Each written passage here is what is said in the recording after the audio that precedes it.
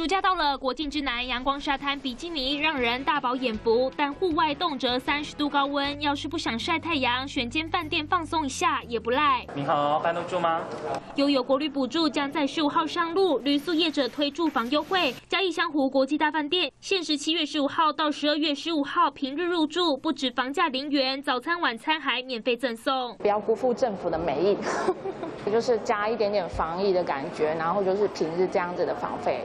零房费很 OK。台中智选饭店使用一千三百元国旅补助，等于完全免费，限时两天在网络上开放抢购，但是有规定，只能在周日到周四入住。是从七月十八号开始到九月二十九号，那每天我们都有开放三十间、三十组这样子的订房可以做预定。